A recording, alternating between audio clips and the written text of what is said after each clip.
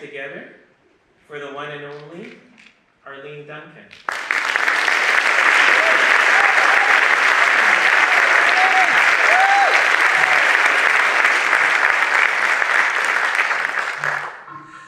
Hi, everybody.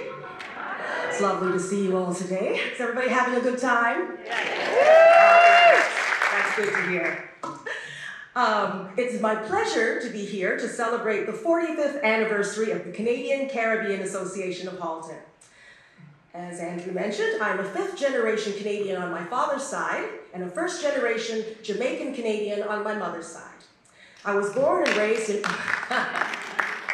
I was born and raised in Oakville at a time when there were very few black people or people of color.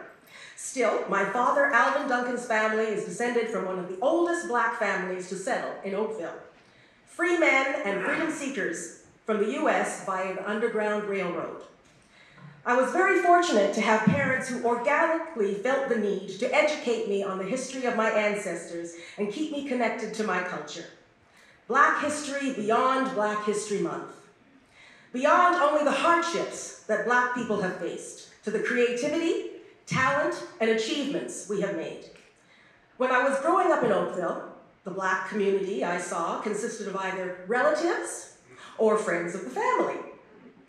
I grew up with memories of many social events with good people, good food, good music, from social gatherings at churches to house parties to annual summer family picnics. As the Black and Caribbean presence increased in Oakville and the Halton region, there was a desire and opportunity to help assimilate new immigrants to Canada, as well as share and showcase the talents, skills, and culture with the rest of the Oakville community. Soon, the idea of the CCAH, led by my mother, long-running former president Isilda Bailey, was born. Under the helm of Veronica Tyrell and now Andrew Tyrell, it has been a wonder to see how it has grown and flourished over the past 45 years. Right. Even when I left Oakville to pursue a career in the arts, it has been a social and cultural foundation that can never be forgotten. February, Black History Month, is the time to remember that Black history started before slavery. Slaves were not taken from Africa. Doctors, healers, teachers, craftspeople, artists, inventors, mothers, fathers, sisters, brothers, the carriers of our culture and traditions. To this day, I wonder and, and am in awe at their strength and courage over fear. In every culture, each generation is expected to be better than the last. I'm amazed Every time I come back to Oakville and see the growth and cultural changes in the town I grew up in, as our ancestors are much closer than we think, we build on the legacy of these ancestors and stand on the shoulders of those that came before us. I'm thankful to them for thriving and striving so that I can be here today, living out their wildest dreams. As we celebrate Black History Month, we cannot take for granted all that has been attained while trying not to get lost in the negative media chaos. We are very fortunate that unlike our neighbors to the south, we are increasingly able to educate and foster a sense of pride in our black youth while also celebrating the innovations made by black people that the rest of the world benefits from every day. As everyone gets caught up in this February in Black History Month festivities.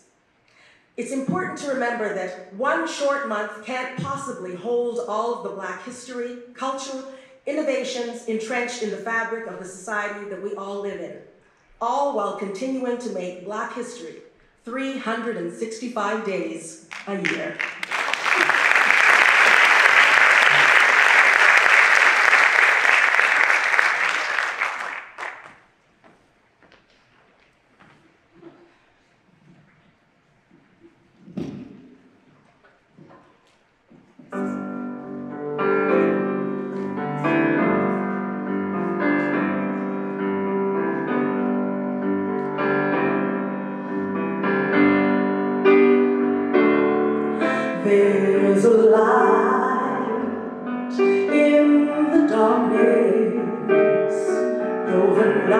Is black as my skin.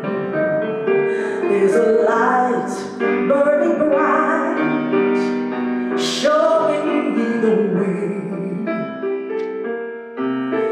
But I know where I've been. There's a cry in the distance. It's a voice that comes from deep within. There's a cry asking why. I pray the answers up ahead. Cause I know where I've been.